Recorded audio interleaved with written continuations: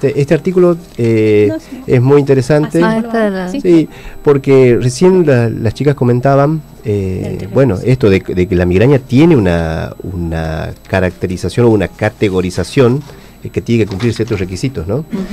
Y qué mejor para pensar que es un algoritmo, ¿no? Porque hay un algoritmo diagnóstico en todo esto. ¿Y quiénes son los que manejan los mejores algoritmos de la inteligencia artificial?